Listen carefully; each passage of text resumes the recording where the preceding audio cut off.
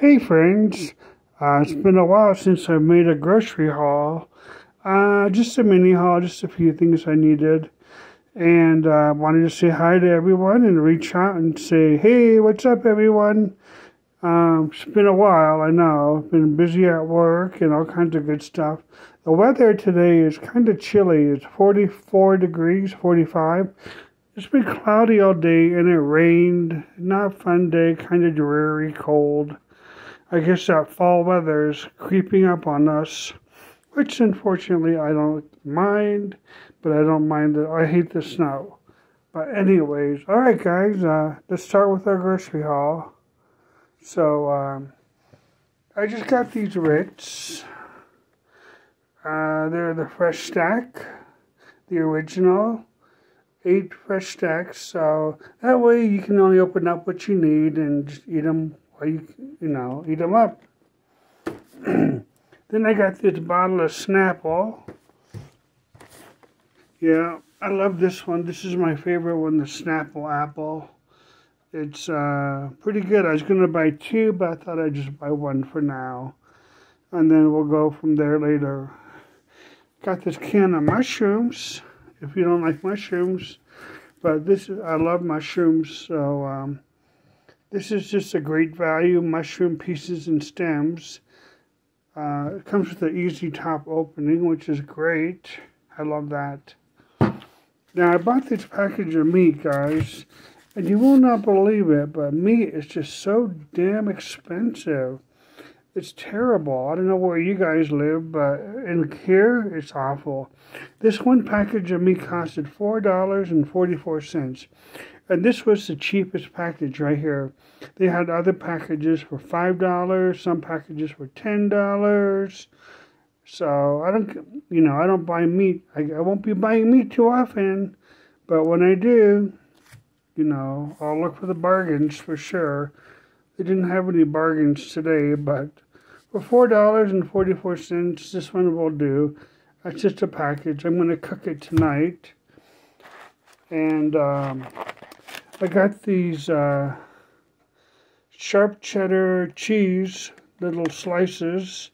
Uh, they're super good. They're going to be good. I bought them for a snack because they're going to go good with these Ritz. You know, and they'll be good for a snack because sometimes I get hungry late at night and I don't want to, you know, eat a whole bunch. so I figured these um, sharp cheddar cracker cuts are the best. So that'll be a good snack. then I got this uh, tea. I always buy this one. The Arnold Palmer half and half. Half lemonade, half tea. It's pretty good. I buy it. It's only 74 cents a can at Walmart this week. So if you like it, better go run out and buy it. It's good stuff. I bought two of them. So I figured why not? Then I got two two of these uh, cinnamon vanilla coffee, you know, the Keurig, of course. Um, they last me a while, and I'm I still have some, but I'm running low. So since I, and they're only three ninety eight a box, so that's pretty good. Um, so I usually buy two, because two will last me a while, and you can never run out of coffee, you know, especially in the mornings when you're running late. Uh, finally, I got this hamburger helper, which is what I'm going to have with this hamburger here. So it's going to be um, hamburger helper for dinner. And I didn't know you could buy it. You could buy meatballs instead of the ground beef. It might be cheaper next time to make it with ground with um, meatballs. I don't know. We'll have to check it out next time. Uh, but I'm gonna get the ground beef the ground beef or the meatballs? Which would be cheaper? I don't know. I should have looked. but anyways, it'll be hamburger helper and a can of beef stroganoff. And there's dinner for you, which I'll be cooking in about another half an hour or so. Too early for dinner still, even though I skip lunch, but that's okay. Alright guys, that's my grocery haul for today uh, this happy Tuesday.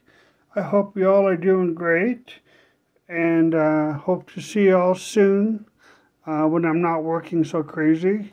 Um, love love to see you all in a live stream somewhere. Um, all right, guys, uh, take care.